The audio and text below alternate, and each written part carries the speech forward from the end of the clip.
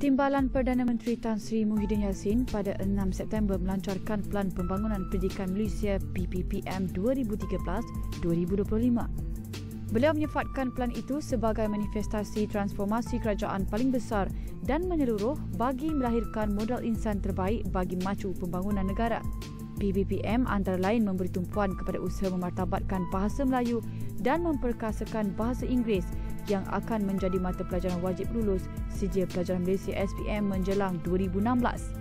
Pelan itu pada masa sama tidak mengabaikan penguasaan bahasa ibunda seperti bahasa Cina dan Tamil di samping menjamin kewujudan sekolah jenis kebangsaan.